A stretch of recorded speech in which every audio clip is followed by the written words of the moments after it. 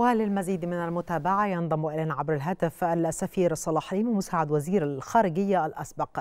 سيادة السفير بعد التحية مصر تواصل الجهود لوقف إطلاق النار في قطاع غزة. كيف ترى هذه الجهود بالوقوف بجانب الأشقاء؟ هذا فضلا بالتأكيد عن الجهود الكبيرة التي تبذلها مصر لدخول المساعدات الإنسانية للتخفيف من الأزمة. لا شك أن مصر لها دور محوري.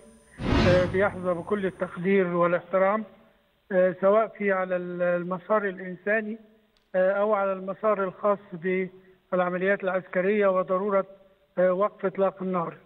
واقع الأمر أن كلا المسارين مليء بالجهود المصرية المتنوعة.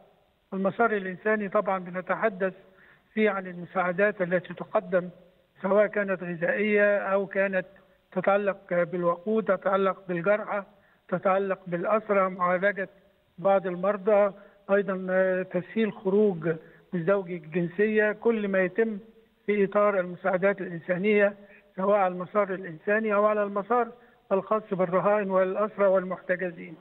أما فيما يتعلق بوقف إطلاق النار فطبعا مصر أيضا كان لها دور محوري فيما يتعلق بالإفراج عن بعض الأسرى وخاصة من النساء والأطفال عبر الهدن التي المتعددة التي تمت وكان لمصر أيضا دور محوري في كل منها على أساس التوصل إلى هذه الهدن والإفراج عبر مفاوضات ربما شاقة وصعبة بين الأطراف المختلفة.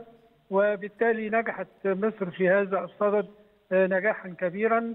وما زال هذا الأمر ما زال موضع استمرار وجهود مصرية مستمرة سواء كان المسار الإنساني كما أشرت أو على المسار الخاص بوقف إطلاق النار أو الهدن صحيح. لكن ربما نتحدث الآن عن ما يجري في مجلس الأمن حاليا فيما يتعلق بضرورة وقف إطلاق النار وأن يكون وقفا مستداما حتى يمكن في هذه الحالة معالجة كافة الأزمات الناتجة عن العملية العسكرية سواء كان في إطار مساعدات إنسانية أو في إطار الإفراج عن ما تبقى من الرهائن والأسرى أو المسجونين صحيح. أو المعتقلين أيضا في من الجانب من الجانب الفلسطيني لا شك أيضا أن مصر كان لها دور محوري أيضا فيما يتعلق منذ بدء القضية بدء العمليات العسكرية عندما عقدت أولا مؤتمر القمة الإقليمي والدولي للسلام في القاهرة ثم مشاركتها بشكل دور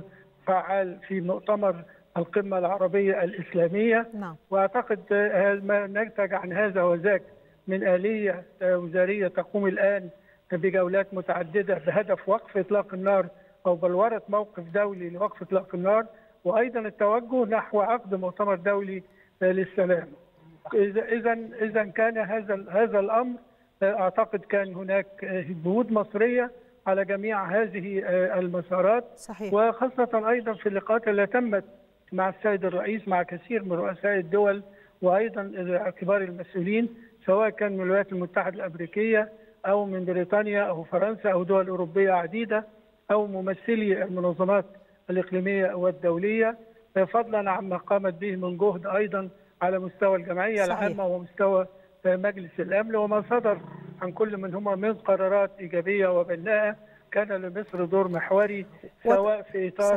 صحيح. هذه الجهود في الآلية ولا تزال تستمر هذه الجهود يوما بعد يوم يا سيادة السفير صلاح حليم مساعد وزير الخارجية الأسبق. كنت معنا عبر الهاتف. شكرا جزيلا لك.